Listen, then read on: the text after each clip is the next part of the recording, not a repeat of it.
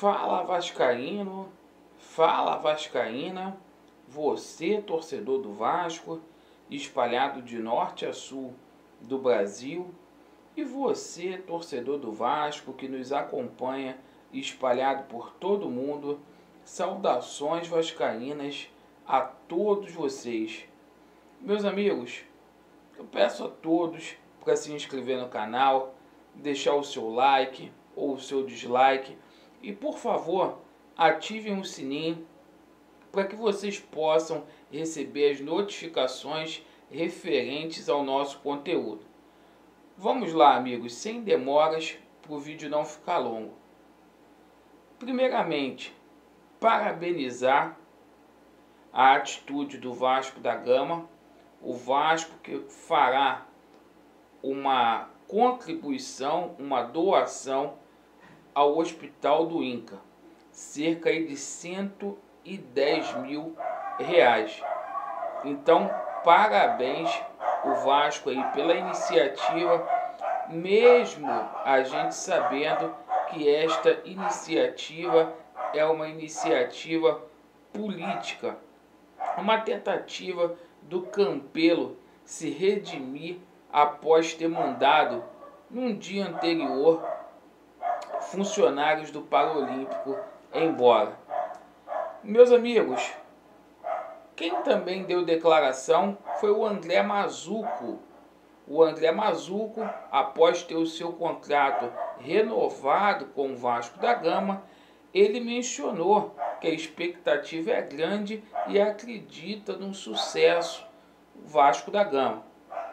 Ele dá um recado para os críticos, menciona que tem trabalhado, apesar das dificuldades a qual assola o gigante da colina, mas ao meu ver, eu continuo com a mesma opinião. A mesma. Para mim, acho desnecessário essa renovação de contrato. O Vasco visa aí a austeridade. O Vasco já tem Antônio Lopes, já tem José Luiz Moreira. Então, eu não entendo tanta demissão assim, igual foi feita, e renovações de contrato aí, como de André Mazuco e também de Bruno César. Meus amigos, ontem Fernando Miguel também deu declaração aí Fernando Miguel que tem o seu contrato acabando com o Vasco da Gama no dia 31 de dezembro de 2020.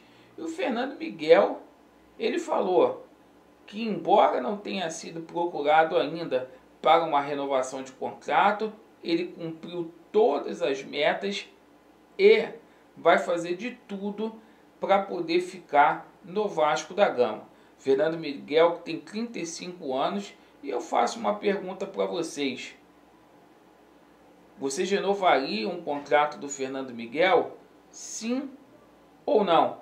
Fernando Miguel que ganhou a posição do Martin Silva, que foi muito importante para o Vasco da Gama, sim, em 2018, principalmente numa partida contra o São Paulo, que agarrou muito em São Januário, mas é um goleiro aí sujeito a chuvas e trovoadas. Deem a opinião aí de vocês. Com relação ao Thales Magno, apesar de todo o assédio vindo da Europa, Alexandre Campelo se manifestou e falou: não há nada de concreto.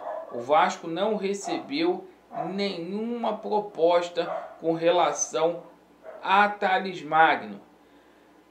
E na semana anterior, Antônio Lopes também falou, não chegou nada de concreto com relação ao Thales Magno.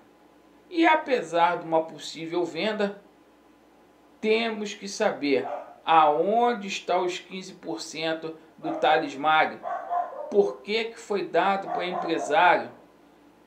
A gente tem que tomar conhecimento disso aí. Com relação ao valor, o valor está muito longe, muito aquém mesmo de 30 milhões de reais. Até porque o Vasco terá que abrir mão de 15%.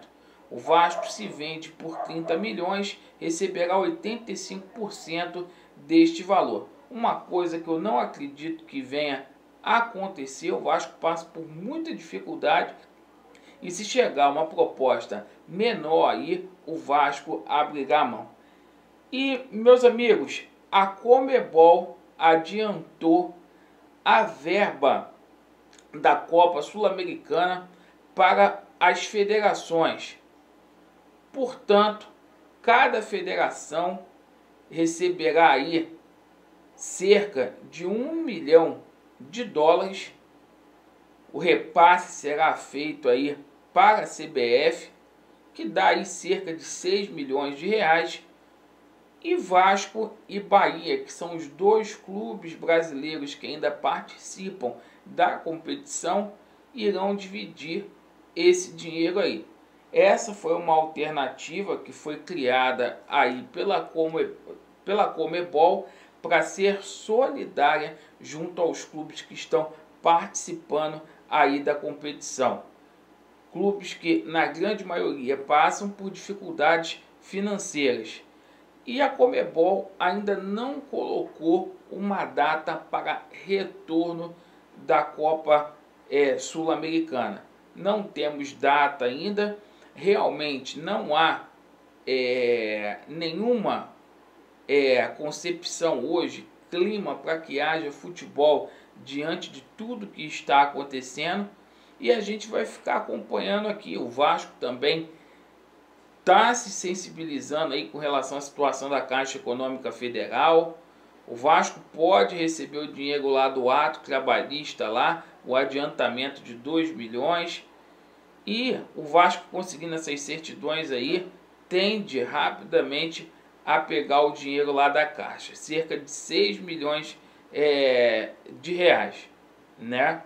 Então, meus amigos, vamos ficar aqui na torcida para que salários possam ser pagos para que dinheiro entre no Vasco da Gama. Valeu, Vasco neles, estamos juntos. Valeu.